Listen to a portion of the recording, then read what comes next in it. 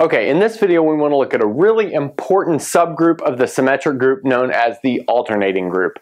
So let's just recall that the symmetric group Sn is the group of all bijections from 1 to n to 1 to n and then uh, sigma in Sn is said to be even or respectively odd if it can be written as an even or odd number of transpositions.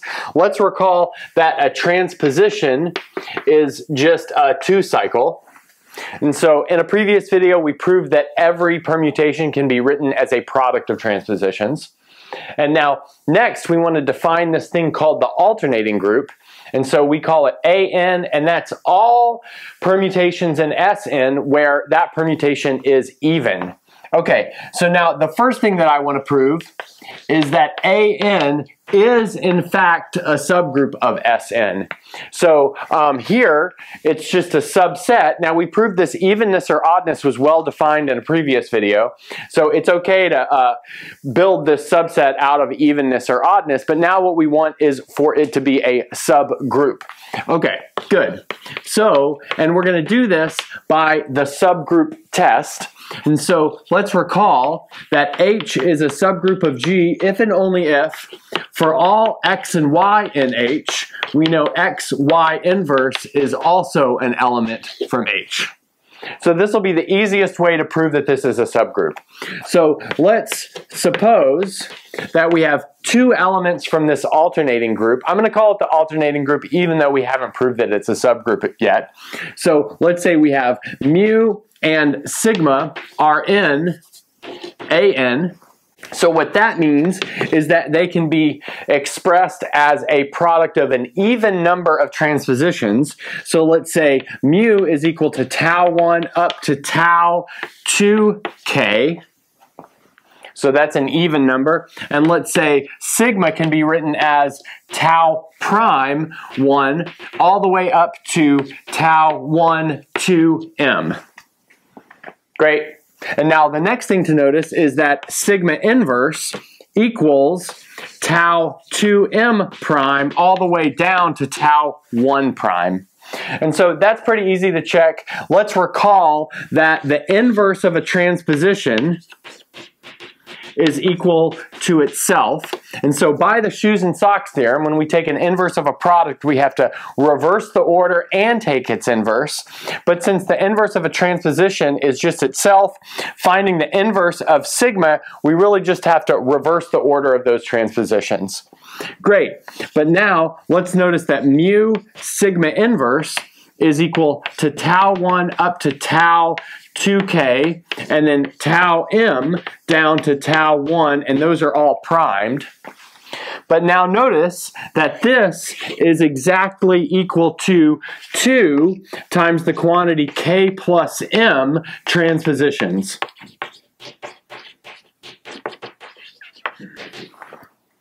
Great. But that's obviously an even number, which makes it an element of an. Okay, good. And that finishes this proof.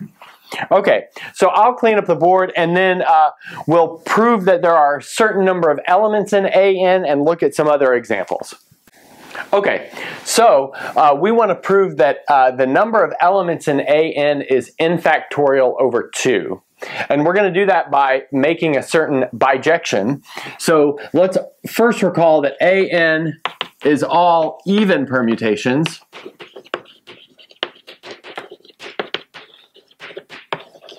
Good. And then, so that means Sn minus An is equal to all odd permutations.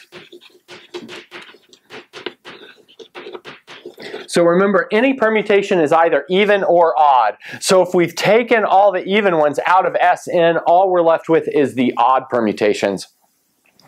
Also, we'll notice that Sn equals the disjoint union of an with Sn minus an. So that's like pretty obvious.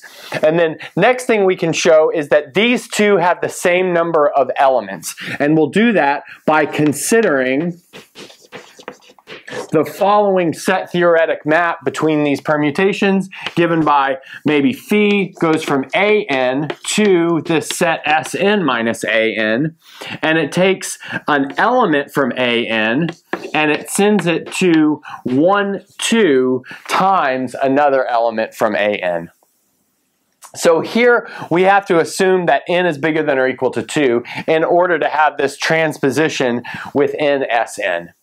And so now notice if sigma is an an, then it can be written as an even number of transpositions, but that means 1, 2 times sigma is an odd number of transpositions, which makes it not in an.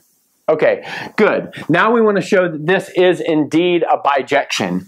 So the first thing we need to show is that it is injective. Great. And we can do that um, in the following way. Let's say sigma of uh, sorry, phi of sigma 1 equals phi of sigma 2. But what that tells us is that 1, 2 sigma 1 equals 1, 2 sigma 2. But now we can just multiply both sides by the transposition 1, 2, and that's going to give us sigma 1 equals sigma 2. So in other words, it is injective. Okay, I'll clean up this little bit and then we'll show that it's surjective. Okay, so the next thing we want to show is that this map is actually surjective. So let's take mu from Sn minus An, and notice that means mu can be written as a product of an odd number of transpositions. So maybe that's tau 1 up to tau 2k plus 1. So that's most definitely an odd number of transpositions.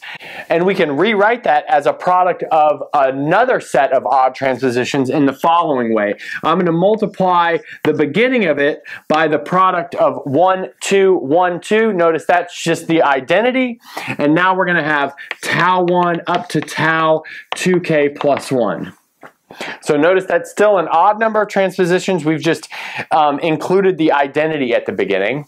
And now the next thing that we want to notice, if we um, allow phi to act on 1, 2, tau 1 up to tau 2k plus 1. So notice that is an even number of transpositions. We have 2k plus 1 here, and then we have another one right here. So there are 2k plus 2 transpositions.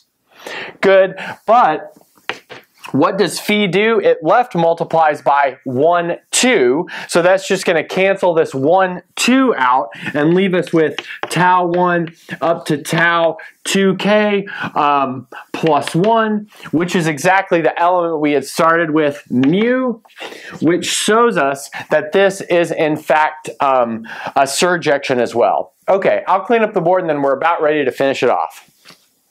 Okay, so far we have the following. We've decomposed Sn as even permutations, disjoint union, odd permutations.